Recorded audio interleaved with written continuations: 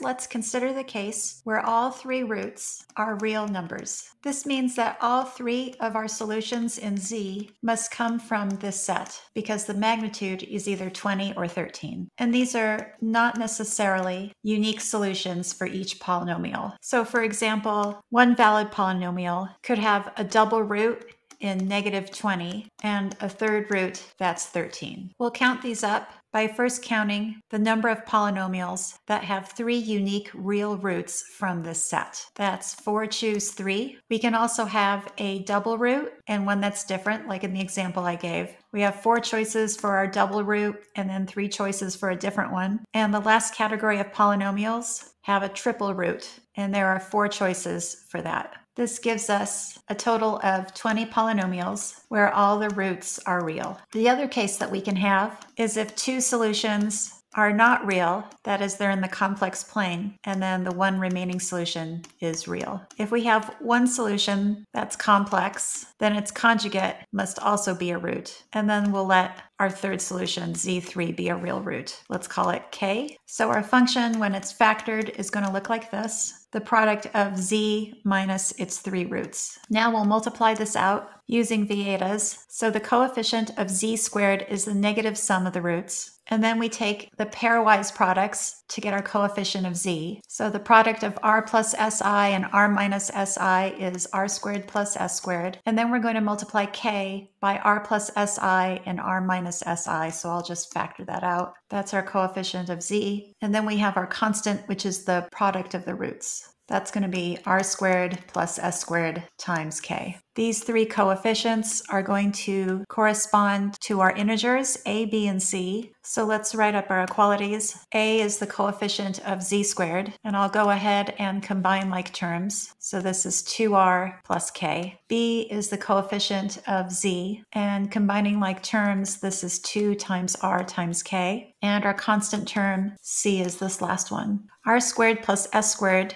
appears twice in these equations. We want the magnitude of all three of our roots to be equal to either 13 or 20. If the magnitude of one of our complex roots is 13, then the conjugate also has a magnitude of 13. In terms of r and s, we have that r squared plus s squared is the square of 13, which importantly is an integer. And similarly, if our magnitude is 20, then r squared plus s squared is also an integer. Returning to our equations, we have that r squared plus s squared is an integer, and in the problem statement, c is an integer, which means this k is also an integer. Looking up here at this first equation for a, if k is an integer and a is an integer, then we have this other term 2r is an integer. With this restriction, let's see how many polynomials we can create. We'll start with the magnitude of one of our complex numbers is 13. This means we have a triangle that looks something like this and the magnitude is somewhere between 0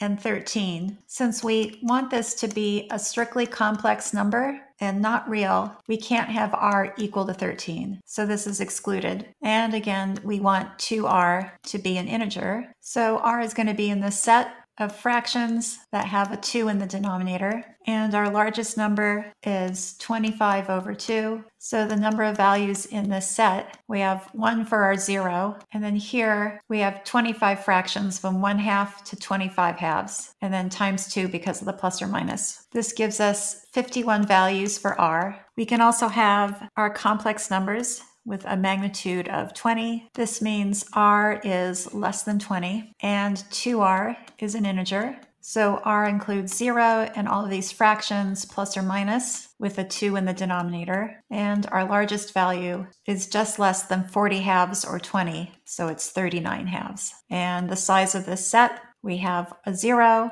and then we have in pairs plus or minus 39 fractions, which gives us 79 solutions for R. In total, we have 51 plus 79 or 130 possible values for R. Each of these determines a unique value for S, and so a unique Z1 and Z2 are two complex roots and non-real. Our third root, Z3, is going to be one of our remaining real solutions with a magnitude of either 13 or 20. So we take our 130 complex solutions, and each of them can match up with one of these four real solutions for 520 520 polynomials. So the total number of polynomials from case one, where all three roots were real, we had 20, plus the 520 from case two gives us our answer of 540.